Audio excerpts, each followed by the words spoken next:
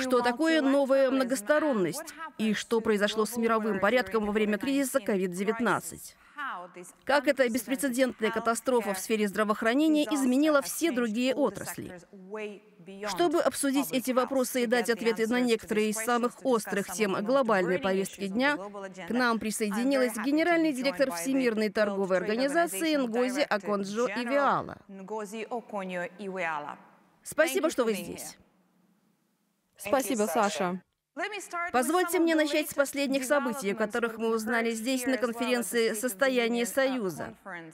Мы слышали здесь от Урсулы фон дер Ляйен, председателя Европейской комиссии, что ЕС готов обсудить предложение, ранее поддержанное Соединенными Штатами, об отказе от прав интеллектуальной собственности на вакцины от COVID-19. Но в то же время есть некоторые страны, которые выразили свою озабоченность, не желая делать это сейчас. Как вы к этому относитесь? Ведь это может добавить дополнительное время к новым переговорам, когда время на самом деле имеет решающее значение. Um, Большое спасибо, Саша. Члены ВТО, как вы справедливо отметили, выступают за отказ от интеллектуальной собственности.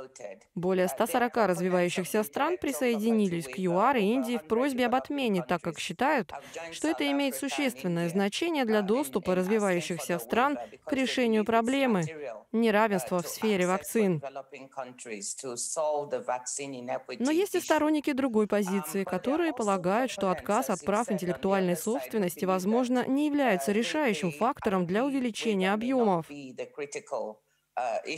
Поэтому моя задача заключается в том, чтобы собрать всех вместе, сесть за стол переговоров и выработать текст, который приведет к прагматичному решению обеспечивающему доступ развивающихся стран к вакцинам для решения проблемы неравенства.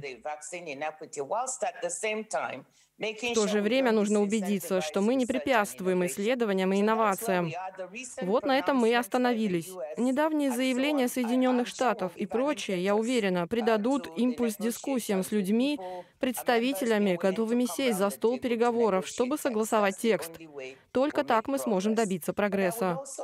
Но я также хотела бы добавить следующее. Для решения проблемы неравенства в доступе к вакцинам, терапевтическим и диагностическим препаратам необходимо несколько факторов.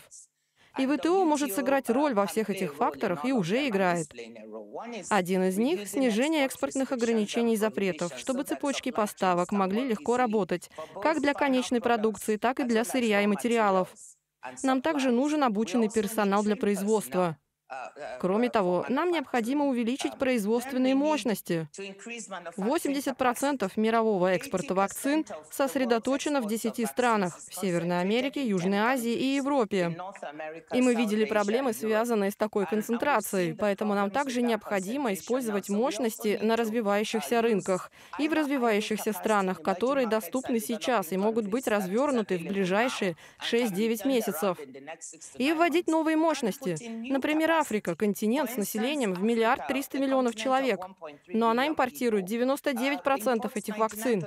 Поэтому, я думаю, необходимо что-то сделать для налаживания производства там.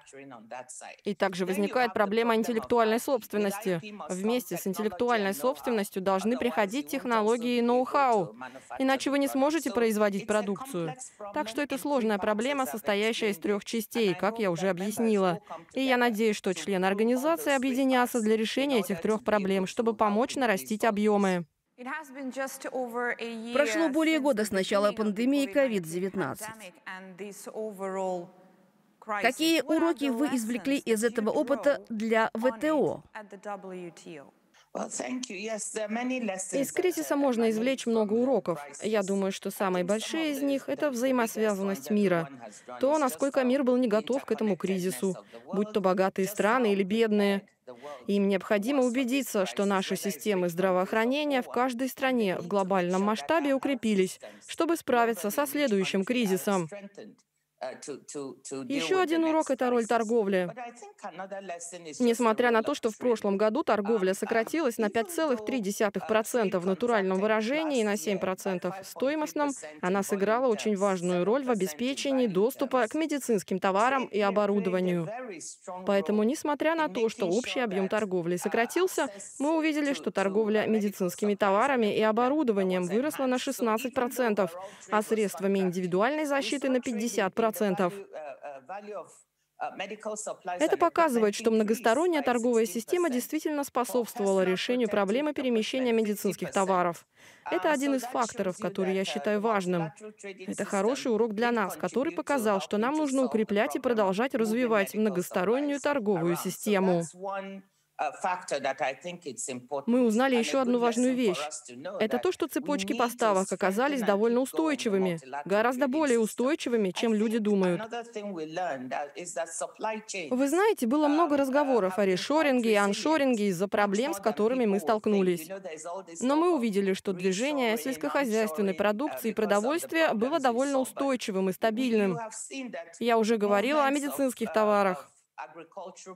И в целом мы видим, что цепочки поставок в основном работают. Uh, Не идеально, но работают. Так что это еще один важный урок, uh, который мы усвоили. Я бы сказала, что задача торговли в обеспечении того, чтобы мы решали проблемы доступа к вакцинам, неравенства, они очень важны. И здесь очень важны цепочки поставок, а также вопросы передачи технологий и доступа к патентам и интеллектуальной собственности.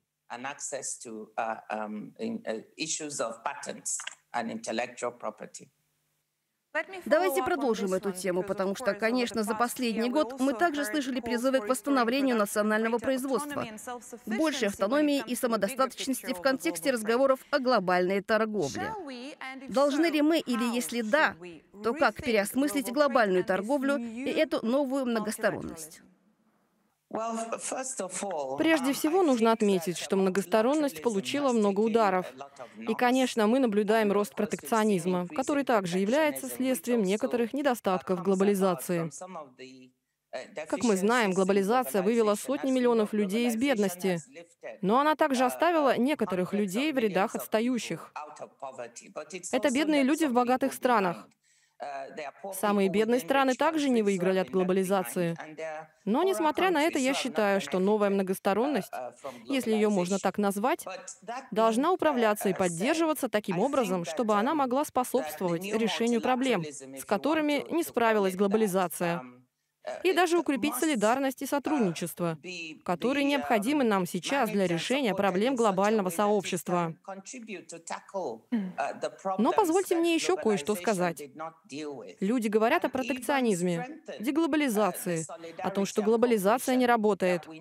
Я предпочитаю называть это реглобализацией. То, как работает глобализация, сейчас подвергается реорганизации.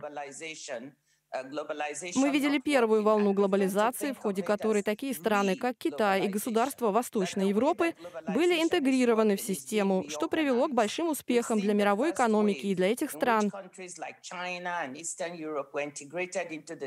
Теперь нам нужна вторая волна, в ходе которой такие континенты, как Африка, африканские государства, Другие страны с доходами ниже среднего и низкими в Азии и Латинской Америке должны быть интегрированы и будут реинтегрированы в глобальную систему. Я думаю, это даст еще один второй толчок глобализации, который поможет устранить неравенство, возникшее как в результате развития технологий, так и в результате первой волны глобализации. Э, так что давайте называть это повторной глобализацией при укреплении многостороннего подхода. Um, это то, о чем мне нравится думать, как о новой uh, многосторонности.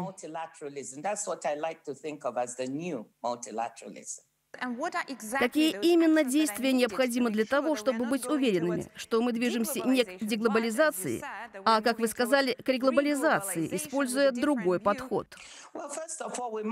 Прежде всего, мы должны убедиться, что все хорошее, что есть в многосторонней системе, торговой системе, сохраняется и укрепляется. Равные условия, справедливость, недискриминация, все принципы, стабильность системы. Это абсолютно необходимо. В дополнение к этому, я думаю, нам нужно попытаться привлечь микро, а также средние и малые предприятия, которые в большинстве стран мира являются двигателями экономического роста. Они создают рабочие места, перемещают товары.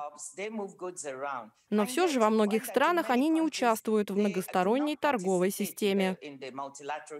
Их нет в национальных, региональных и глобальных цепочках поставок. Поэтому я думаю, что один из ключевых вопросов, над которыми мы должны задуматься в условиях глобализации, это как нам привлечь малые и средние предприятия к этим цепочкам создания стоимости, к цепочкам поставок, которые доставляют товары по всему миру. Другая область — это женщины, женщины и торговля. В большинстве стран 50 и более процентов малых и средних предприятий принадлежат женщинам. Как нам привлечь их ко всем этим действиям? Как нам выработать новые правила торговли, которые будут способствовать развитию этих секторов нашей глобальной экономики? Я думаю, именно эти вопросы мы рассматриваем в ВТО, чтобы понять, как новая глобализация может привлечь тех, кто был маргинализирован в прошлом. 26 апреля состоялся форум, в рамках которого вы обменялись мнениями с вице-президентом Еврокомиссии Валдисом Домбровскисом о реформе ВТО. Не могли бы вы рассказать нам об этом? И как Европейский Союз может участвовать в процессе анализа, обсуждения и, наконец, реформирования работы Всемирной торговой организации? То, что делает Европейский Союз, крайне важно для ВТО и для мировой торговой системы. Мы обменялись рядом идей, которые ЕС выдвигает в отношении реформы ВТО. И я нахожу эти идеи очень полезными, очень интересными. Знаете, есть вопросы о том, как нам завершить ряд текущих переговоров в которых участвует ВТО, например, о субсидировании рыболовства, переговорах по поддержке устойчивости наших океанов. Они продолжаются уже 20 лет. И я знаю, что ЕС и все другие члены организации очень хотят завершить этот многосторонний раунд. Поэтому мы говорили о том, как это сделать. Мы обсуждали вопросы системы разрешения споров ВТО, которая была парализована. То, как нам оживить и реформировать ее. Мы говорили о создании и приведении правил ВТО в соответствии с требованиями 21 века. Я только что упомянула вопросы цифровой торговли и электронной коммерции. Как нам это сделать? Uh, ЕС оказывает большую поддержку в этих областях. Затем мы перешли к торговле и климату. Каким образом нам пересмотреть uh, правила ВТО, чтобы помочь uh, в экологизации и декарбонизации наших экономик? И помочь всем лучше восстановиться после этой пандемии. Все члены ВТО приняли на себя обязательства по достижению целей устойчивого развития ООН. Многие из этих целей связаны с защитой окружающей среды. В процессе формирования новой многосторонности и, как вы говорите, реглобализации, как убедиться, что торговая политика отвечает на климатические и экологические вызовы?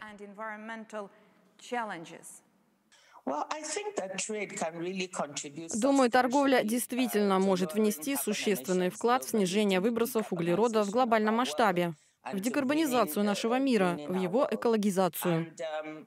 И я думаю, что есть много возможностей, которые мы можем открыть. Прежде всего, в 2016 году члены ВТО вели переговоры по соглашению об экологических товарах и услугах, которое помогло бы стимулировать переход к использованию более чистых и экологичных технологий и товаров. Так что в этом есть возможность. Но эти переговоры зашли в тупик. Поэтому то, что мы могли бы сделать и пытаемся сделать, это подумать, как возобновить эти переговоры и изучить, сможем ли мы завершить их таким образом, чтобы это было выгодно для членов ВТО и в глобальном масштабе для окружающей среды. Конечно, есть вопросы о том, как решить проблему выбросов углерода в рамках торговли и различные механизмы, включая механизм регулирования углеродных границ, который рассматривает ЕС, изучаются и обсуждаются. Мы также изучаем этот вопрос в ВТО, чтобы убедиться, что все, что будет сделано, будет соответствовать правилам организации. Но нам необходимо рассмотреть различные инструменты, которые могут быть применены для того, чтобы помочь сделать торговлю более чувствительной к окружающей среде. Я думаю, что это интересная и сложная область, и мы с нетерпением ждем дальнейшей работы с ЕС и другими странами по вопросам окружающей среды. Если рассматривать краткосрочную перспективу от одного до трех лет, скажем так, какие из вероятных достижений или целей вы ждете с наибольшим нетерпением? В ближайший год-три, на самом деле, в первый год я ожидаю ряда достижений для ВТО и для торговли. Я думаю, прежде всего мы должны превратить ВТО в организацию, которая добивается результатов. Имидж организации, которая не добивается результатов, является дисфункциональным. Это должно измениться. И я вижу большой потенциал для изменения этого уже в текущем году, к моменту проведения 12-й министерской конференции в декабре. И это можно сделать, сосредоточившись на результатах. Прежде всего, у нас есть прекрасная возможность завершить переговоры о субсидировании рыболовства, которые продолжаются уже 20 лет. Я уже говорила, что если речь идет о поддержке устойчивости наших океанов и средств к существованию наших женщин и мужчин, занимающихся рыболовством, то мы должны завершить эти переговоры. Так что это действительно главный приоритет, насколько я понимаю. Это даст нам победу. Uh, Вторая область, в которой я хотела бы увидеть результаты, это торговля и вопросы здравоохранения. У нас есть уникальная возможность, как у ВТО, внести свой вклад в решение проблем, с которыми мы сейчас сталкиваемся в связи с пандемией.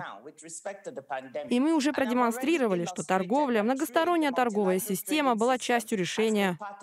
И я бы хотела, чтобы мы сделали больше, завершив переговоры по интеллектуальной собственности и передаче технологий. Тогда у нас будет инструмент инструмент, который может способствовать решению проблем доступа к медицинским принадлежностям, оборудованию и вакцинам. Так что это большой вклад, который мы могли бы оформить на нашей министерской конференции. А третья область — это сельское хозяйство. Это сфера, имеющая жизненно важное значение для всех наших членов, как развивающихся, так и развитых. И у нас есть несколько направлений по вопросам продовольственной безопасности. Вы знаете, что многосторонняя торговая система также обеспечивает стабильность поставок продовольствия и стабильную торговлю им по всему миру. Поэтому продовольственная безопасность — это важная вещь. Как мы можем достичь некоторых соглашений, которые были бы полезными для членов ВТО в области сельского хозяйства? У нас, конечно, есть вопрос по субсидиям, как по промышленным, так и внутренним, которые мы называем внутренней поддержкой. Щедрые сельскохозяйственные субсидии одних заставляют других членов ВТО опасаться, что больше не будет равных условий для конкуренции в торговле между странами. Поэтому нам необходимо рассмотреть этот вопрос. Это та область, в которой я хотела бы добиться определенного прогресса. И также позвольте мне сказать о механизме разрешения споров, жизненно важном для принятия правил ВТО. Я хотела бы увидеть некоторый прогресс в этой области, так что в ближайший год-три у нас будет много возможностей для ребрендинга организации.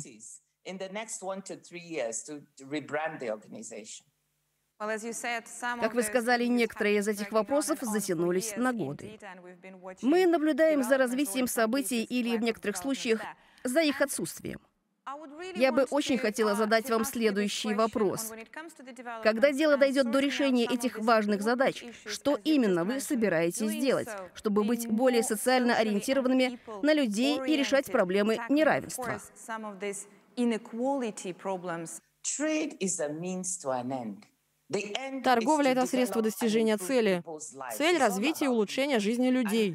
Люди — это главное. Поэтому ВТО и ее инструменты должны использоваться для улучшения жизни людей.